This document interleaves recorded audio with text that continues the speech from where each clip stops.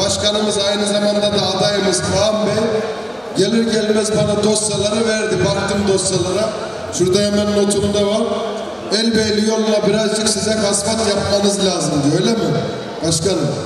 Neyse bunu yapacağız. Buna, buna diyecek bir şey yok. Buna, bunu, buna hayırlı olsun diyelim.